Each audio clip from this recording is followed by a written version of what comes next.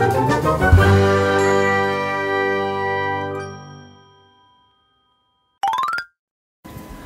い皆さんこんにちは。ゆうすけのえんチャンネル。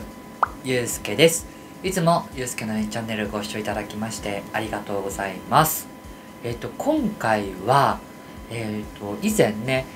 動画でもご報告させていただいた内容なんですけど心臓の手術をした後の経過報告をまたさせていただきたいと思います。まあねえっ、ー、ともうだいぶ手術をして去年2021年させていただいてもうだいぶ日付は経ったんですけど手術したのが2021年の5月26でこの撮影をしたのが2月の26ということでえうんと何ヶ月だ、9ヶ月経った？こう6あ6 5入んないのか。6789101112129ヶ月だね。9ヶ月経ったのでその報告をさせていただきたいと思います。ご興味ある方は是非見ていただければ幸いです。でまず、えーとまあ、前の動画があるので簡単に伝えさせていただくんですがどんな内容だったかというと私は心房中隔欠損症ということで ASD と呼ばれているものになっております。で、まあ、内容としては左心房と右心房の間の壁に穴が開いている状態だったということでまあ左心房と右心房の血液の漏れとかあったりしてまあこれは自分の体感なんですけどあの、まあ、前回も動画で言ったんですけどこの神楽坂のこのこの撮ってるとこから最寄り駅とかまで帰る時坂なんですよ。で坂帰る時にもうなんか今マスクをしてねやっぱ帰るじゃん今の時期は。なのでそのマスクをして帰る時にマスクしてるから息苦しいのか年なのかなんだか分かんなくてすごくああもうめっちゃだるいみたいな感じだったんですよ。まあ来てくださった方はあの距離よとか思ったりとかするんですけどそれはもしかしたら心房中隔欠損症の影響だったのかなっていうのを振り返れば思いました。で前回の動画でも伝えたんですけど手術をさしていただいたらすごく坂がもう登りやすくなってあめちゃくちゃなんか楽だなっていう経過報告となっておりました。でここからがね前回の動画でも伝えてなかった新しいあの経過報告なんですけどうんと去年の11月かなえっ、ー、とまあ手術をして半年を経った時にあの実はですねその飲んだ後ってあの手術した後って血液をサラサラにするお薬をずっと飲んでたんですね半年ぐらい。そうです。飲んでたんですよ。でその時にうんとすごく血液サラサラにする薬なもんなので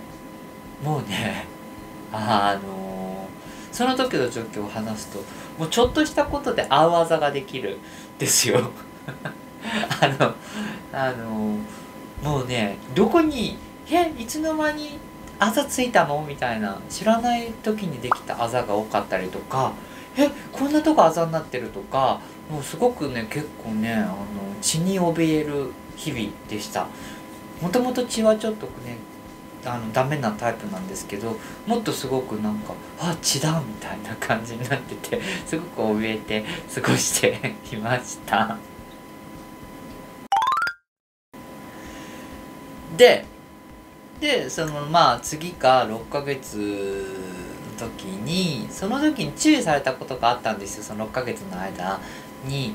それをね是非皆さんもまあ参考程度にもし同一の症状とかあったりしたらとか手術される前とかす、ね、しようと思ってる方大人になってからされようとする方に関してなんか自分がすごく意外だったっていうものがあるんですけどうんとその心臓のその ASD の手術をするまでにした後もなんですけど当分の期間ね歯医者歯の治療をしちゃいけないっていうことであの歯医者。しちゃいけないっていうかその先生曰く自分のあの自分が先生から直接聞いて分かりやすく多分説明してくださった感じの解釈を受け取っとくとあのは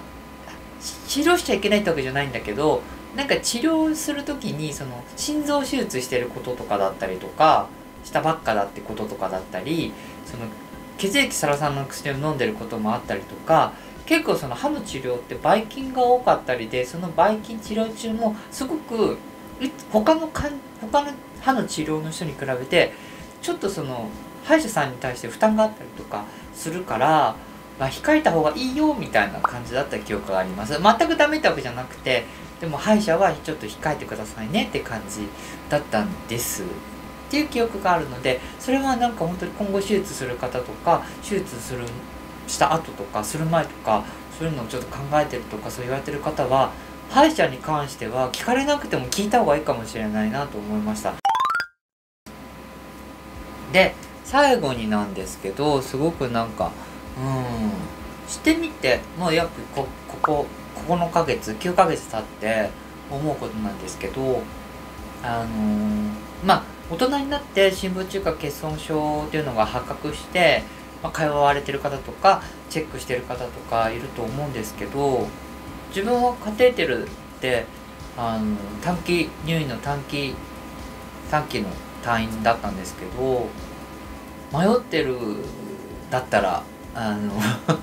ぜひあの手術できるって状態であったらぜひ先生と調整してした方がいいと思います。すごく自分はして体が楽になりました。余計なんか心臓を大事にしようっていう感覚があります。で、まあ、手術して9日間経った9日じゃないや9日月9ヶ月経ったんですけど特に支障もなくあのサラサラの血の血をサラサラにする薬飲んだ時はもう体にあざがいっぱい出てわーってなってたんですけど、まあ、それも落ち着いてやっぱり手術してよかったなと思ってるので是非あの迷ってる方いらっしゃったらね先生と主治医の方と相談して手術をするといいと思いますあと怖怖い方怖かった方とかね手術するの怖いとかああとかなると思うんですけど本当あっという間でした。っていう感じの近況報告になります、まあ、自分が伝えてるのですごくなんかゆるくあの比較的なこうとかと感じではないんですけどこういう体験をした体験談ということで是非ゆるく見ていただければと思います。ということで、この動画がいいねと思ってくださった方、いいねボタン、またはチャンネル登録も引き続きよろしくお願いいたします。最後までご視聴いただきましてありがとうございました。ゆうすけのえんチャンネル、ゆうすけでした。またね